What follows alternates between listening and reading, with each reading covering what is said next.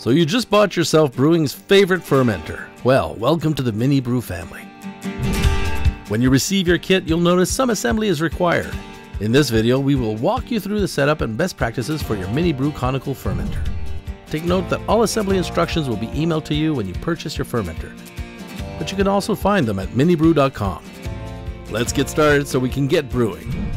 Upon taking your fermenter out of the box, clean everything thoroughly with a good detergent. Rinse until all traces of soap and chemicals are removed. Sterilize with any of the standard agents available. We prefer 180 degree water as it sinks into the plastic, valves and fittings, killing all bacteria. Begin by laying out all your parts to ensure nothing is missing. Start by assembling the fermenter's support rack. Screws, cap nuts, and any washers needed are for the two hoops. Bolts and nuts are for the wedges. Take the hoops and legs. Use the nuts and bolts to join the legs to the outside of the hoops. Finger tighten for the moment.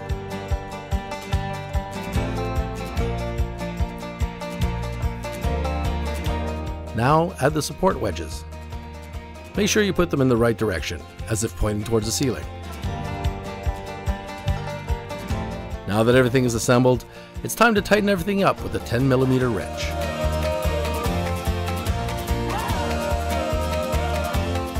Now onto the tank. Start from the bottom up. You might need a little help putting together the dump valve assembly, especially on our bigger tanks. Find the right fitting and slip on the red food grade washer. Make sure the ribs those tiny lines on the gasket are always facing the tank. At this moment, you should use industrial Teflon tape to ensure a tighter seal and easier disassembly. Now, insert from the inside, then place another gasket with the ribs facing towards the tank. Now keep in mind, our bulkheads have a reverse thread, so you'll have to turn counterclockwise to tighten. Once the bulkhead is on and tightened, thread one end of the male hex nipple into the international threads of the easy sealed weldless bulkhead. Once tightened and secure, Thread the one end of the ball valve into the remaining male thread on the nipple. After the bulkhead is installed and tightened by hand, you can tighten a little more to snug. However, you do not want the gaskets bulging to a point that the ribs on them are not providing the additional sealing capabilities they provide. Repeat these steps to install the racking port valve, only this time use two gaskets on the outside of the tank. Remember, over tightening is not always better and might actually create an inferior seal.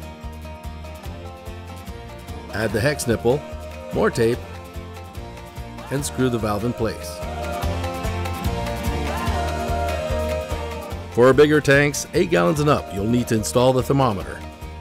Put in the bulkhead as you did for the two others, using industrial Teflon tape and gaskets with lines facing the tank.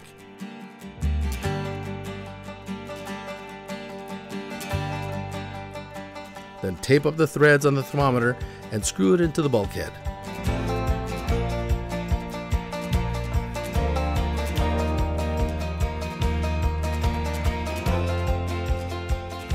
Once assembled, clean again. Rub the inside thoroughly with a soft cloth and a non-abrasive cleaner.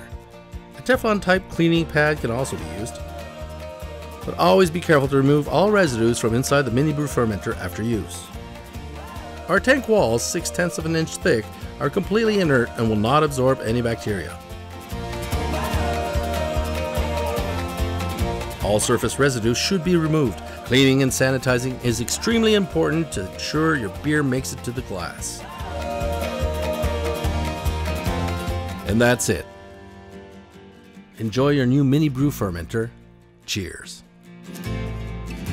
That was actually really easy to put together.